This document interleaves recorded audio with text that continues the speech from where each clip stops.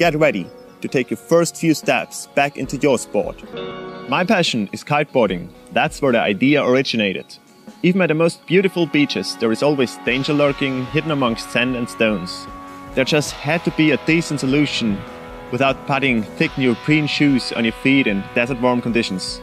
There are many sports where you would like to be barefoot, but the risk to get injured is too high, so you don't do it. For example, at board sports and martial arts, balance and equilibrium is very important.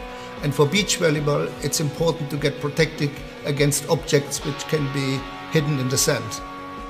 But FYFs are for any sport you do. Running, ball sports, water sports like surfing, trail running, climbing, and even daily routines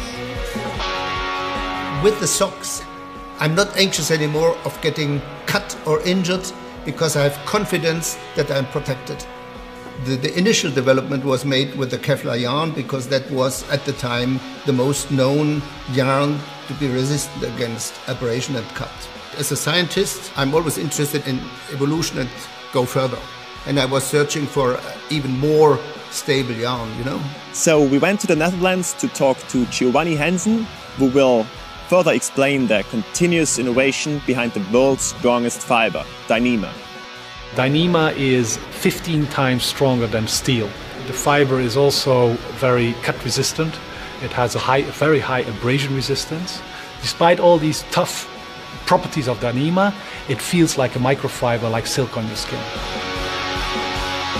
Now, if you're interested in a pair of FYFs, let me just show you exactly what you're going to get.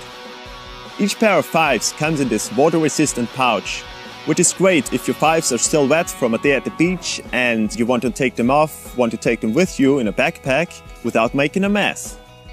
There are many sports where you would like to be barefoot.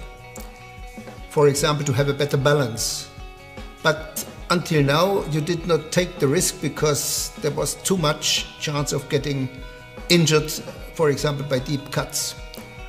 And now with the protection sock, you can do many sports really barefoot. Regain that natural barefoot feeling, increase your performance with a new sense of security, and take care of your feet.